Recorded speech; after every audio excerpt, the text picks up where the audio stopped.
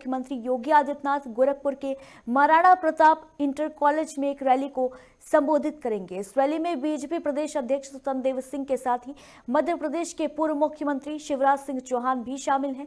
वहीं इस रैली में हज़ारों की संख्या में लोगों के पहुँचने की उम्मीद है। बता दें कि जहाँ एक और सीए को लेकर अलग अलग जगह विरोध प्रदर्शन चल रहा है, वहीं दूसरी ओर बीजेपी ने सीए को लेकर फैले भ्रम को दूर करने के लिए पूरी ताकत झोंक दी है और इसी क्रम में गोरखनाथ प्रांत में ये रैली की जा रही है। बताते चले, इस रैली में दस हज़ार से ज़्यादा लोगों को निमंत्रण भेजा गया है। इतना ही नहीं, बीजेपी के कार्यकर्ता और नेता खुद घर घर जाकर लोगों को सीए के बारे में बता रहे हैं और उन्हें इस रैली में आने के लिए आमंत्रित कर रहे हैं।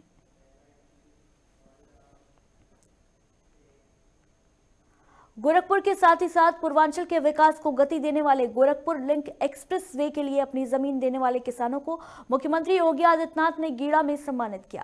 सम्मानित किए गए किसानों में गोरखपुर, अंबेडकर नगर, आजमगढ़, संत कबीर नगर के किसान शामिल रहे।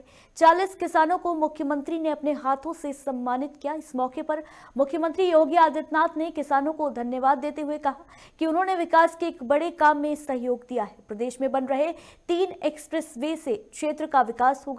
इस वर्ष के अंत तक हमारा प्रयास होगा कि पूर्वांचल एक्सप्रेस वे मुख्य मार्ग को हम यातायात के लिए खोल दें। इसके साथ ही सीएम योगी ने कहा कि ज़मीन देने वाले किसानों के पूर्वजों की अंतरात्मा को भी इस बात की संतुष्टि होगी कि हमारी पूर्वजों की भूमि पर अच्छा कार्य हो रहा है। जब भी हमें विकास के लिए भूमि की आवश्यकता पड़ेगी, किसान की ओर देखना पड़ेगा और इसकी शुरुआत हमें जेवर में देखने को मिली। जेवर में एशिया के सबसे बड़े एयरपोर्ट के लिए तीन हज़ार हेक्टेयर भूमि किसानों ने सिर्फ़ दोगुने रेट पर ज़मीन हमें उपलब्ध करा दी।